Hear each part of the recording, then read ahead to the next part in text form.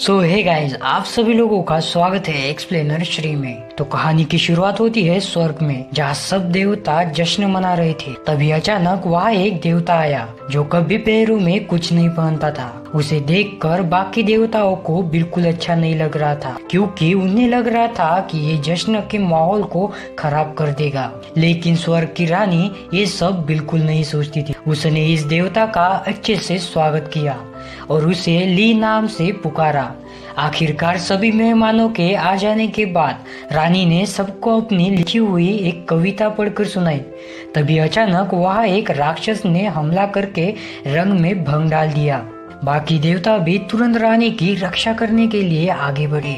लेकिन जल्द ही उनकी शक्तियाँ राक्षसों के सामने फीकी पड़ गई। असल में राक्षस रानी को दिखाने आया था कि उस में सबसे ज़्यादा शक्तियाँ है। इसीलिए उसका भी स्वर्ग में रहने का हक बनता है। पर अचानक ली ने उसके चेहरे पर अपने रुई नाम के एक हथियार से वार कर दिया, जिससे वो राक्षस वहीं पे ढेर हो गया। ये देखकर रानी ने खुलासा किया कि असल में ये हमला उसी का प्लान था। वो देखना चाहती थी कि उन पर मुसीबत आने पर कौन दिमाग और ताकत का सही इस्तेमाल कर सकता है।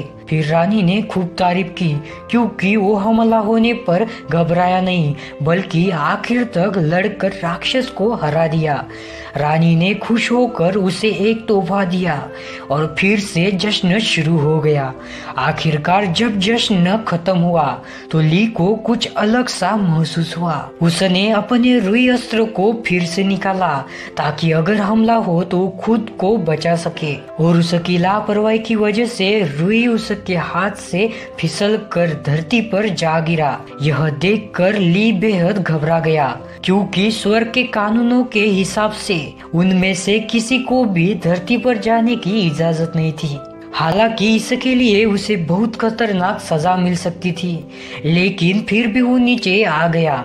धरती पर पहुंचकर उसकी मुलाकात पिया नाम की एक लड़की से हुई, जो एक पेड़ की दहनी पर अटकी हुई थी। लेकिन उसे नीचे उतरने में मदद की और फिर पिया ने उसका शुक्रिया अदा किया। इसके बाद ली ने बताया कि वह स्वर्ग से उतरा हुआ एक देवता है, जिसका हथियार धरती पर गिर गया था। अब ली को वो अपने गाँव के सरदार के पास ले जाती है, ताकि वो ली की मदद कर सके। जब वो दोनों गाँव पहुँचे तो अचानक कुछ राक्षसों ने उस नर के गाँव पर हमला कर दिया। क्योंकि वो उनका कीमती खजाना चुराना चाहते थे। ये खजाना असल में एक जादुई चीज़ थी। अब ली भी पीछे नहीं हटा और उसने भी राक्षसों का जमकर सामना किया। आखिरकार उसने एक राक्षस मकड़ी को उसी की जाल में फंसा कर हरा दिया। इसके बाद ली ने एक बेहद ताकतवर राक्षस को हराया और जिसके शरीर के बदबू के सामने बड़े बड़े टीक नहीं पाते थे। आखिरकार गाँव के सरदार और बाकी लोगों ने ली का जम जमकर स्वागत किया और उसके लिए खास एक पार्टी भी रखी। आखिरकार ली ने सरदार से उनके खजाने के बारे में पूछा। तो उसने बताया कि कुछ महीने पहले आसमान से एक सुनहरी रोशनी आकर सीधा एक पहाड़ पर पड़ी।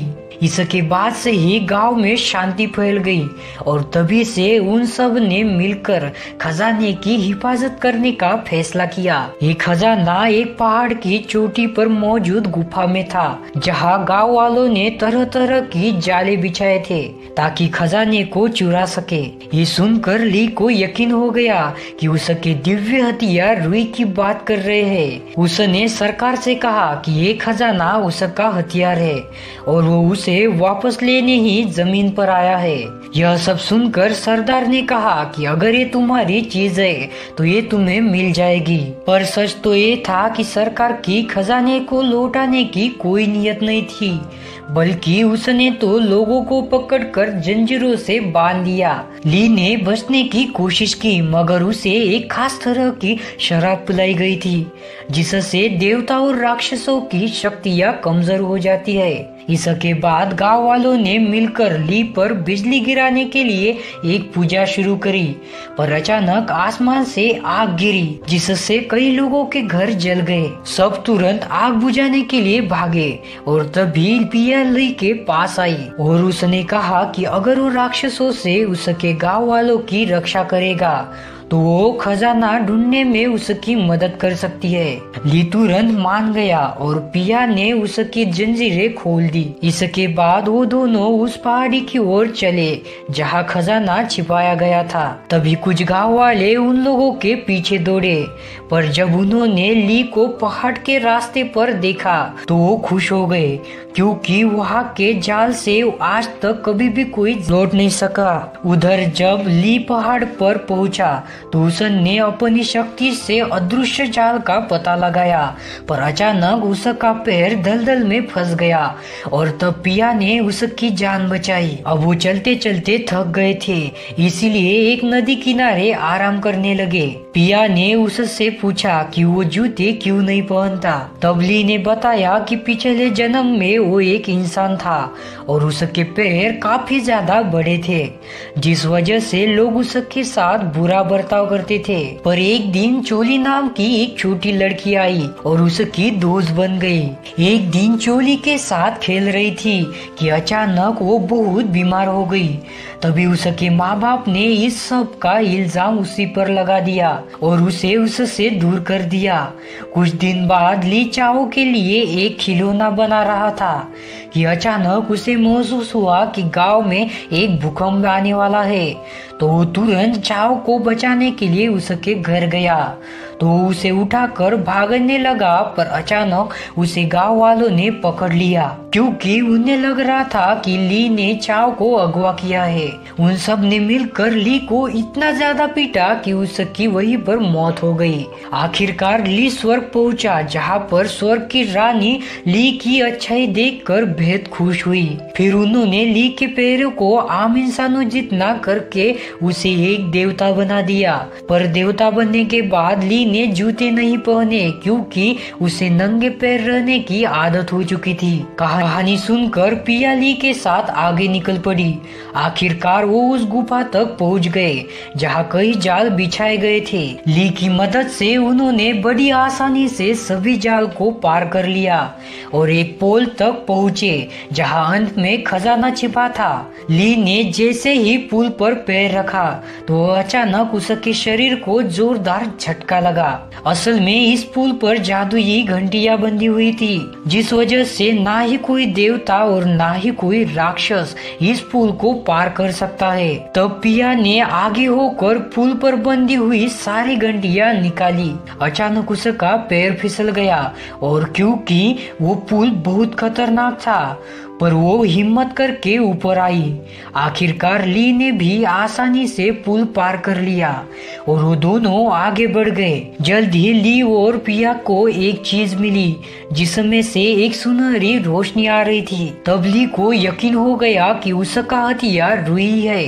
पर जब उसकी रोशनी हटी तो ली ने देखा कि ये रुई नहीं है, बल्कि एक सुनहरा अंडा था।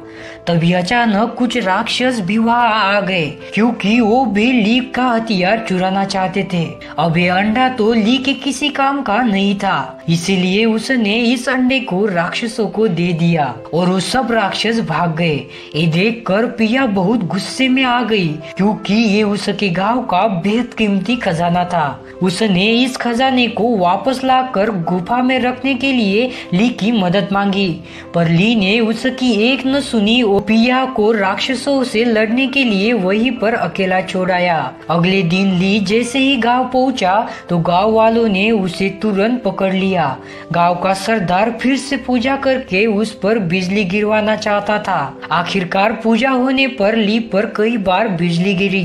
पर ली तो अमर था, इसीलिए उसका बाल भी बाका नहीं हुआ। ये सब देखकर उन सबको यकीन हो गया कि सच में ये एक देवता है, और सभी उसके सामने झुक गए। पर तभी एक बूढ़ी औरत ने कहा कि यह इस इज़्ज़त के लायक नहीं है, क्योंकि वो अपने हथियार के चक्कर में गाँव वालों को यूँ ही राक्षसों के हाथ मरने के लिए छोड़कर चला गया। यह सब सुनकर ली को पिया का ख्याल आया, जो अकेले राक्षसों से खजाना वापस लेने के लिए पहाड़ पर रुक गई थी। दूसरी ओर सभी राक्षस सुनहरे अंडे को देखकर काफ़ी हैरान और परेशान थे। आखिरकार उन्होंने मुर्गी राक्षस राक्षस को इस अंडे पर बैठने का हुक्म दिया, ताकि अंडे के अंदर जो भी है, वो उसे बाहर निकाला जा सके। उसी वक्त पिया खुद भी एक बिल्ली राक्षस का भेष बनाकर राक्षसों के अड्डे पर आ पहुँची। फिर उसने बड़ी चालाकी से राक्षसों को बुद्धू बनाकर उनसे अंडा ले लिया। पर जैसे ही अंडा लेकर वहाँ से भागने लगी तो राक्षसों को पता चल गया कि वो इंसान है। उन्होंने तुरंत पिया पर हमला कर दिया, और वो उसे मौत के घाट उतरने ही वाले थे। के पर ली ने वहाँ पहुंचकर पिया की जान बचाई। ली ने सभी राक्षसों की जमकर धुलाई की और आखिरकार खजाना लेकर वो दोनों गाँव लौट आए।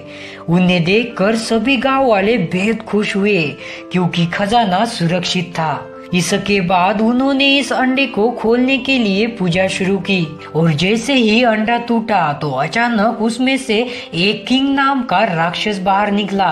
ये वही राक्षस था जिसे स्वर्ग की पार्टी में हराया था। नियमों ने बताया कि वो अकेला ऐसा राक्षस था जो स्वर्ग में रहता था, और बाकी के देवता उसे हमेशा परेशान करते थे। जश्न के दौरान जब उसने उन पर हमला किया तो उसे लग रहा था कि सभी देवता एक जैसे होती है। इसीलिए उसने ली पर भी हमला कर दिया।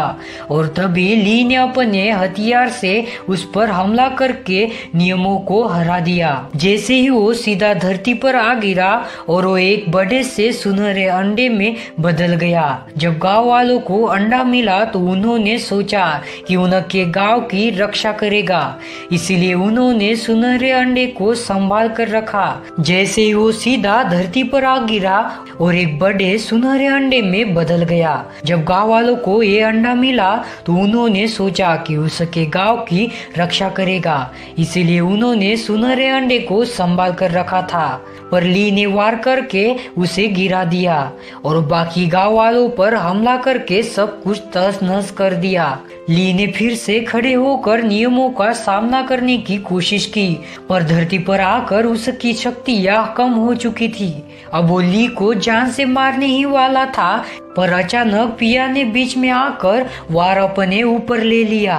उसको अंदाज़ा नहीं था कि पिया उसके लिए अपनी जान तक कुर्बान कर सकती है।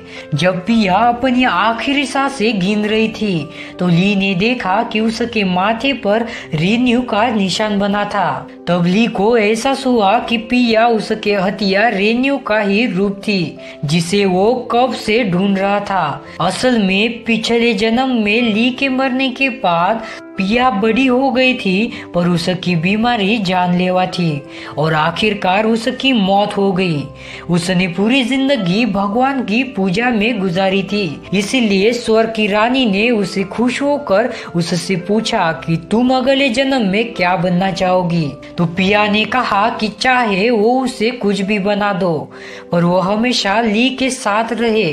पर रानी ने कहा कि ली तो पहले ही देवता बन गया है, इसीलिए रानी ने चाव को ली का सबसे शक्तिशाली हथियार बना दिया, ताकि ली उनका सामना कर सके। इसके बाद उन दोनों में भयानक युद्ध शुरू हो गया, और आखिरकार रेवु के वार से उसको हरा दिया। जल्द ही स्वर्ग की रानी बाकी देवताओं के साथ वहाँ आ गई। अब वो ली को सजा देने ही वाली थी, क्योंकि ली ने बिना उसकी इजाज़त के धरती पर आ गया था। ली सजा के लिए तैयार हो गया, पर तभी सभी गाँव वाले रानी के सामने झुक गए, और उन्होंने ली को माफ़ करने की दरख्वास्त की, क्योंकि ली ने उन्हें राक्षसों के आतंक से बचाया था, और उनकी मिन्नतें सुनकर आखिरकार रानी मान गई। और ली को माफ़ कर दिया। पर जब रानी नियमों को सजा देने लगी तो ली ने उनसे दरख्वास्त की। कि वो नियमों को माफ़ करके एक मौका दे ताकि वो अपनी गलतियों को सुधार सके। यह सुनकर रानी ने उसे भी माफ़ कर दिया और नियमों की सांसों में सांस आ गई। आखिरकार ली ने कुछ समय और गाँव में रहने का फैसला किया ताकि कोई भी राक्षस उन पर हमला ना कर सके। तो ये कहानी यहीं पर एंड होती है। तो आपको ये कहानी कैसी लगी नीचे कमेंट में ज़रूर बताना। सो मिलते हैं नेक्स्ट वीडियो में, तब तक के लिए बाय